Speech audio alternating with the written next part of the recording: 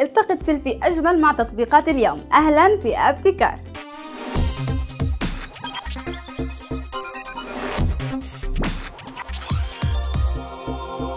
خذ سيلفي من بعيد وبطريقة سهلة من خلال تطبيق CamMe. كل ما عليك فعله بعد فتح التطبيق هو إيجاد مكان لتضع عليه الجهاز.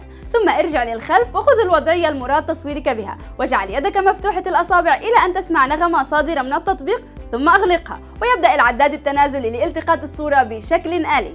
المسافة لالتقاط الصورة تتراوح بين نصف متر إلى خمسة أمتار. واحرص عندما تضع هاتفك بعيدا عنك أن يكون المكان آمن لكي لا يسرق.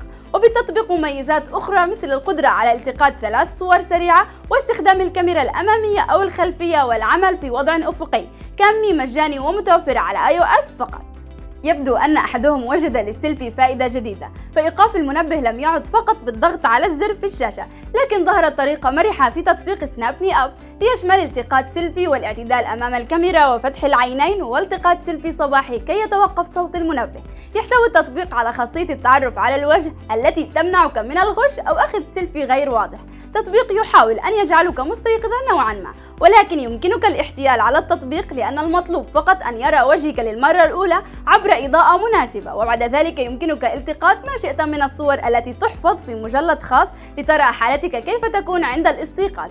لكن إن وجدت السيلفي طريقة مزعجة يمنحك التطبيق طريقة ثانية لإيقاف التنبيه وهي تقديمك صورة من المعرض بشرط أن تكون مختلفة في كل صباح.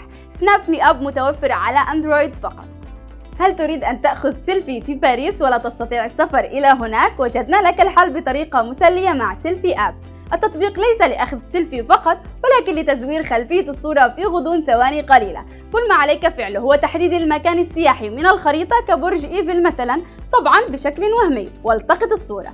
سيلفي أب مليء بالخلفيات من مختلف الأماكن. ولو سألك أحد عن المكان الذي التقطت أمامه الصورة تستطيع سؤال التطبيق عنه ويجوبك بسرعة فلا تقلق. تطبيق يسمح لك أن تتواجد في عدة أماكن في نفس الوقت أو على الأقل تجعل الجميع يعتقدون ذلك. وهو مجاني ومتوفر على iOS وأندرويد. الآن نستعرض آراء متابعينا عن تطبيقات الحلقة السابقة. شكرا لكل من شاركنا رأيه وتجاربه.